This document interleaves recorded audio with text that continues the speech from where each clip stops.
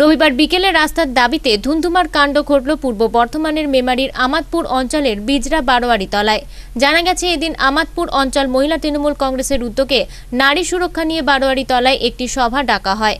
সভায় উপস্থিত ছিলেন আমাদপুর গ্রাম পঞ্চায়েতের প্রধান সাধনা হাজরা সহ স্থানীয় তৃণমূল নেতৃত্ব।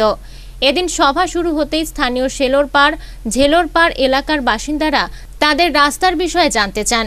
গ্রামবাসীদের অভিযোগ, রাস্তা না করেই রাস্তার বোর্ড লাগানো হয়েছে। অথচ বছরের পর বছর ধরে তারা রাস্তার দাবি জানিয়ে আসছেন। গ্রামবাসীদের অভিযোগ, রাস্তা তৈরির জন্য টাকা এলেও সেই টাকা নয় ছয় করা হয়েছে। বর্ষার সময় রাস্তায় চলাচল করা যাচ্ছে না। এদিকে রাস্তার এই দাবিকে ঘিরেই পরিস্থিতি উত্তপ্ত হয়ে ওঠে।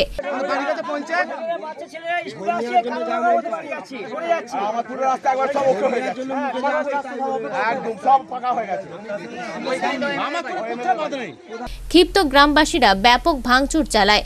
বৈঠকের চেয়ার ভাঙচুর করা হয়।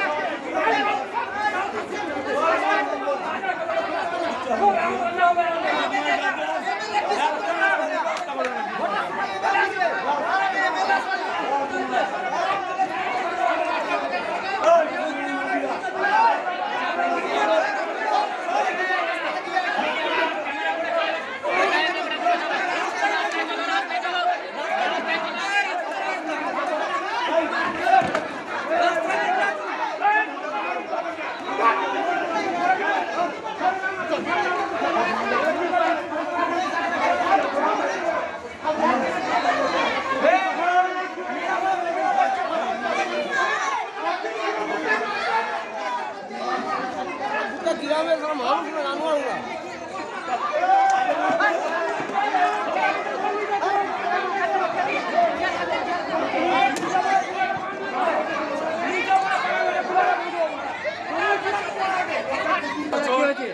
প্রধানও চুরি করে সদস্য চুরি করে ভোট বসেছে রাস্তা হচ্ছে না ছ মাস ধরে। আমাদের ঘরে পাঁচ বছর ধরে বলছে রাস্তা হবে ছেলেরা পড়তে যেতে পারছে না স্কুলে। ছাত্র কোন পঞ্চায়েত? কোন আমাদের পঞ্চায়েত? জায়গাটার নাম কি? জায়গাটার নাম কি? এটা বারালিতালা বিজরে বারালিতালা। হ্যাঁ।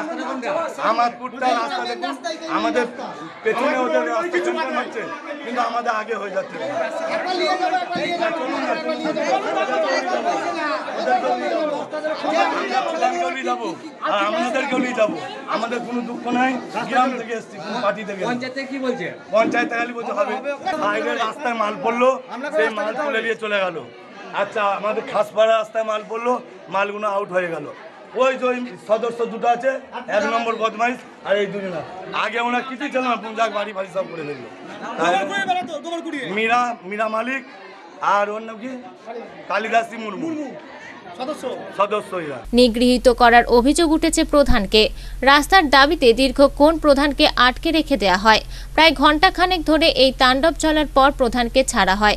প্রধান জানিয়েছেন গোটা বিষয়টি ব্লক নেতৃত্বকে তিনি জানাচ্ছেন। যা করার তারাই করবেন। বর্ধমান থেকে পিন্টু প্যাটেলের রিপোর্ট আনন্দ বার্তা।